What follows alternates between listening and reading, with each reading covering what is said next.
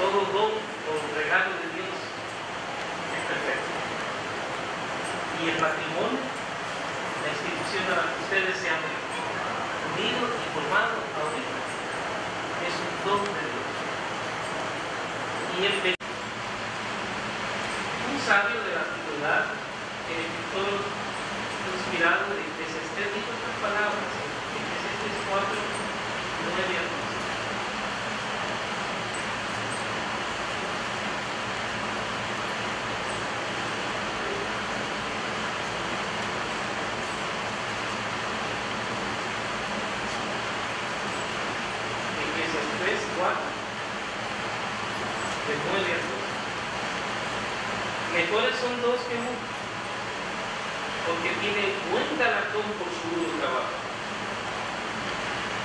Pues si uno de ellos cae, el otro puede levantar a su socio. ¿Cómo le da que está solo y cae?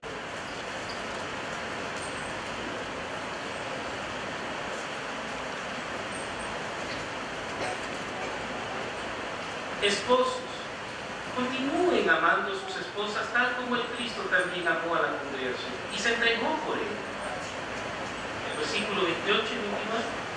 De esta manera los esposos deben estar amando a sus esposas como a sus propios cuerpos. El que ama a su esposa a sí mismo se ama. Porque nadie jamás ha odiado a su propia carne. Antes bien la alimenta y la acaricia, como también el Cristo hace con la congregación. Nota, Salvador, lo que reitera el escritor. En el versículo 25 dijo, tal como el Cristo. Versículo 29 dijo, como también el Cristo hace. Entonces, el ejemplo que debe seguir es el, cabeza de la congregación Cristo que vea a su congregación como su Si tú sigues el, el patrón modelo de Jesús, entonces está siguiendo el consejo principal que da Dios a los esposos. Aquí el versículo 25 dijo que Jesucristo estuvo dispuesto a entregar su vida por él. Si alguien quiere hacer algo allá, tú estarías dispuesto a dar tu vida.